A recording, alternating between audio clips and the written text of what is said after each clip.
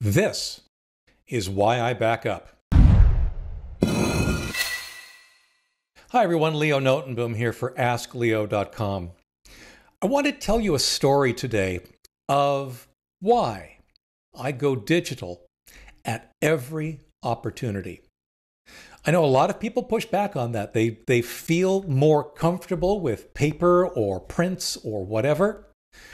I'm not there, and I want to show you and tell you exactly why.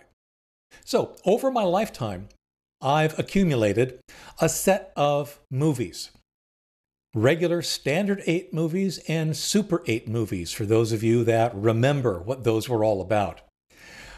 Some of them date back to when I was less than a year old. We had a friend of the family who'd shot some film of me at that age. Some of them are newer films about the time that I was hired at Microsoft. Some of them are other family films. There were a lot of them. And I realized that the projector I had, well, it wasn't long for this world. It was a pain to set up. And it really, if I ever wanted to see these movies again, I needed to make them digital. And by making them digital, I could do a few more things with them. So I set out to do that. Now, I did a bunch of research and I settled on a company called Cinepost. C I N E P O S T. They do this, this kind of conversion.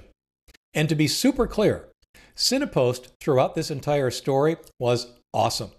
The results were great. Their service was great. As you'll see, a safety net they had in place was great.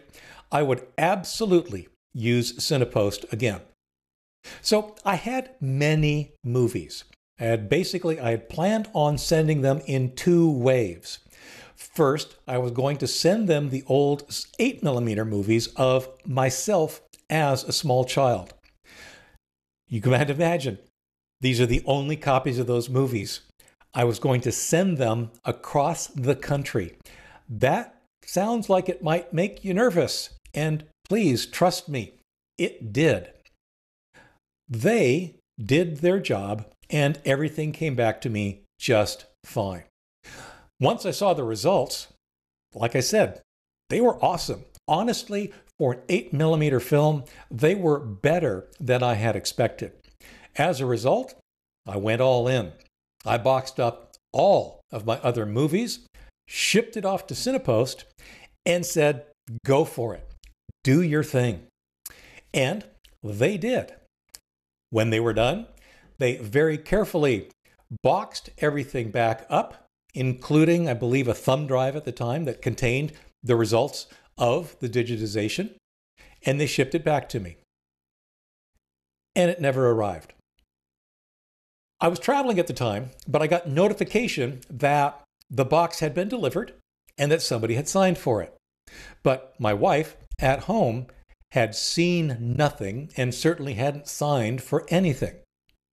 The box got delivered somewhere else, not to our place. That was kind of scary because not only were the originals all in that now missing box, but so were the thumb drives containing the digital versions. However, I remembered something that Cinepost had mentioned in their materials.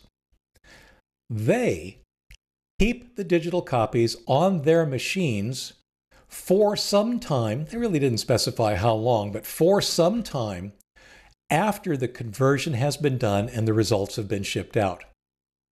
In other words, they kept a backup. So I contacted Cinepost and we made arrangements for me to get those files online across the internet. And I did. The net result was I had the digital conversion of all of those movies on my machine ready to go. I just didn't have the originals anymore. Okay, that felt bad, but at least I had the digital copies. Why did I want the digital copies? Well, like I said, I can share them with other people. I'll see them. I, like I said, I, there was just no chance that I was going to see them in their physical original form. So I was able to sit down and go through all of these movies, enjoy them, see them again. However, something that I did the moment these digital copies arrived, you know where I'm going, I backed them up. In fact, as I sit here, there are probably four or five copies of each of those movies in four or five different places, including places that are not my house. Many terrible things would have to happen in order for me to lose access to those digital files. However, the original physical files, well, they were gone. They were lost in shipment just like they could have been lost by fire or lost by flood or lost by whatever, they were gone. But I had the digitals, and I was going to have the digitals now forever. Now, there is an interesting postscript to this story, and that is simply this. A few weeks after I got home from my trip, there was a knock at the door, and somebody handed me a box the box. The box that had been misdelivered a couple of miles away from here to him. To, well, not quite to him, because it got misdelivered to his neighbor because he was also out of town. The neighbor, of course, didn't look closely at the box. He was just accepting it on behalf of the next door neighbor.